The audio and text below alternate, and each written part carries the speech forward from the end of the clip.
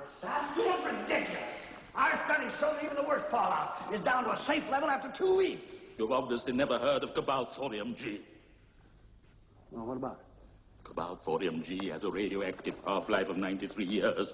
If you take, say, 50 H-bombs in the 100 megaton range and jacket them with Cobalt Thorium G, when they are exploded, they will produce a doomsday shroud, a lethal cloud of radioactivity which will encircle the Earth for 93 years.